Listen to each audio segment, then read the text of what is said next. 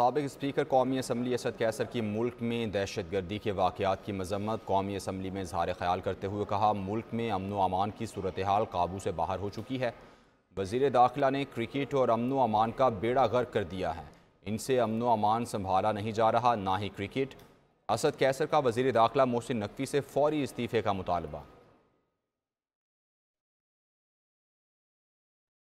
सबक स्पीकर कौमी असम्बली असद कैसर की मुल्क में दहशत गर्दी के वाक़ात की मजम्मत, कौमी असम्बली में इजहार ख्याल करते हुए कहा, मुल्क में अमन अमान की सूरत हाल काबू से बाहर हो चुकी है।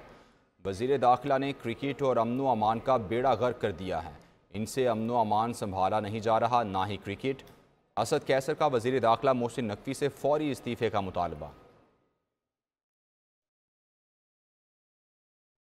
सबक स्पीकर, कौमी असम्बली असद कैसर की मुल्क में दहशत गर्दी के वाक़ात की मजम्मत, कौमी असम्बली में इजहार ख्याल करते हुए कहा, मुल्क में अमन अमान की सूरत हाल काबू से बाहर हो चुकी है।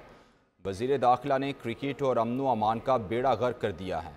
इनसे अमन अमान संभाला नहीं जा रहा, ना ही क्रिकेट। असद कैसर का वज़ीर दाखिला मोहसिन नकवी से फौरी इस्तीफ़े का मुतालबा।